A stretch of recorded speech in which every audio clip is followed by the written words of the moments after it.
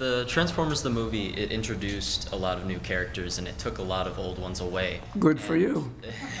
And the Hasbro they with their like incessant need to sell new toys and sell them like very like in very high quantities. They how did that limit what you could do with developing these new characters in the story of the movie? I was given no limitation on the creation of characters. None. They wanted me to create new characters, and I did. And they made them toys. In the first draft, pardon me, I forget who the characters were, but they didn't put them in the movie. They didn't want them, but they made them toys anyway, and they were successful. At this moment, I don't remember all of them. I think Springer was one. Anyway, there's so many characters in any Transformer, in any G.I. Joe movie, in any of those sagas. So many characters. How many characters are in Lord of the Rings? How many characters were in, uh, uh, where, where were the dragons in Game of Thrones? How many? If you just have them run past you, run past the camera, hey, this is, I hate this, hey, that, hey, blah, blah. It will take four days, and then who do you remember? The one that caught fire. Who, what was the name? I have no idea. So they were thrilled to get new characters, but what really thrilled them was the idea that I instituted with G.I. Joe, which is I broke G.I. Joe and the Cobra into teams. So there are three of them. There are four on a mission. There are two. So you get to know them. That's what endears an audience to any entertainment. You feel you know who that is. And you might say, I really identify with that. I really do. And that helps immensely. That's why the toys sold. Now, one of the reasons I knew that, and I said I will not do a 22 minute pilot episode, because that'll just be a parade of non-entities. I said I want to do a five-parter. So there'll be time to introduce the characters as individuals, because that will marry the kids and the watchers to these characters. They'll want to buy that toy. They want to buy this one. I want to buy Roadblock. Why? I got to know him. I like what he stands for. I like what he does. Sergeant Slaughter, a wrestler, and not a great one.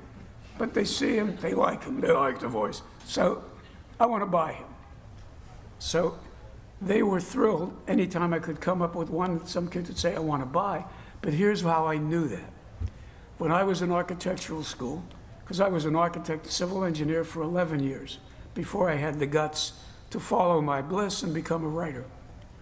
And I was asked by the provost of the university, Elliot Dunlap Smith, who had been provost at Yale and was lured away to Carnegie Tech. I took a class with him, and he called me at home. He said, I think you're the guy we're looking for. He said, a toy manufacturer who is nameless wants to do a study, psychological study, of what makes children buy and like certain toys and want to play certain games. So, what we're going to do is we brought in the kids, we'll bring them in, and there'll be a one way mirror, and we will observe, and we will decide on that basis what it is that draws kids to toys and to games. So it began with four people two girls, two boys. Each one would get a private room with a kid and the toy or the game.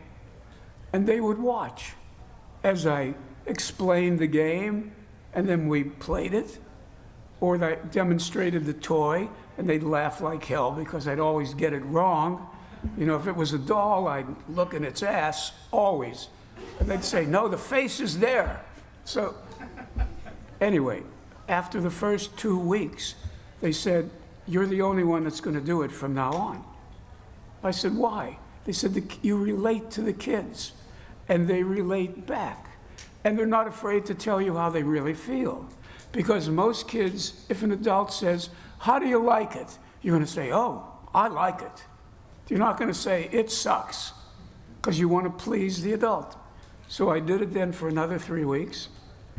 And then I was brought in, the Department of Psychology, the Department, the School of Business Management, which was the first business school to give a degree, and people from the Department of Psychology and the Department of Business Psychology were there with a report. And I said, What did you find out? They said, We found out that if kid li- kids like the person showing them the toy or the game, they will want to like it. I said, How does that help you? They said, We have to be careful about under what circumstances we reveal the toys or the games to the kids. So they have the sense of someone they like liking it. I said, Okay, I don't think you can do that every time. They said, Neither do we. But what we learned is there are certain qualities that make a toy or a game likable.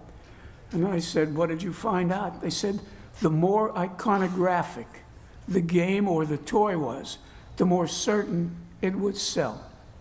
And the kids need time to refresh their memory. So I'd sometimes be told to show the same toy again. They need time to digest the fact I like this, I didn't like that. That's it. They need time to determine they're liking it. And they need a sense of connectivity that comes from iconography. So that's why I said I'm not going to do a 22 minute pilot. And that's why I got the assignment. Because Hasbro didn't believe people who wrote animation could write well. They thought they were all bad. Anyway, they interviewed writers of network television. I was one of 107. They picked me because of what I said about that. I won't do it in one 22 minute episode. There you go. Thank you. Thank you.